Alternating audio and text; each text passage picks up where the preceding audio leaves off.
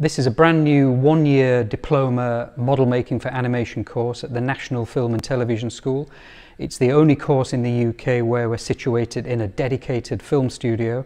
Uh, we're specialising in model making, animation, puppet making and set building. Module 1 is an introduction, a general introduction to model making where we do sculpture, pattern making, simple mold making.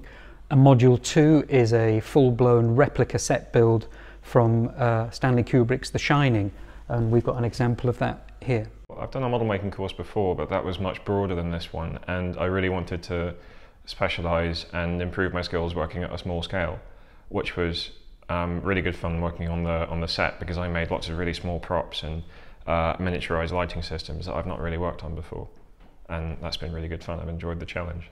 First of all, I worked on the vending machine, which was a lot of fun. There was a lot of detail going into it and a lot of steps that I've never really thought about before that go into making a project like that. And then it was also just being part of that team and working with these fantastic people and having everything slot together in a way so it makes a whole, which was really interesting and a great thing uh, to learn on this project. I learned about uh, turning on a lathe, which I hadn't done before, and I had some help um, from one of the students with that.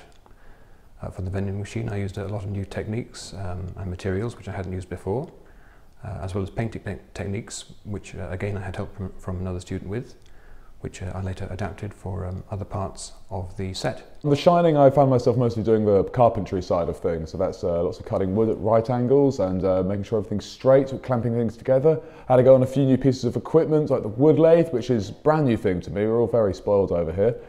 Um, and then people people just took took the things I made out of that and cast them and painted them and all sorts of wonderful things. And um, I'm enjoying myself very much here. We're very lucky.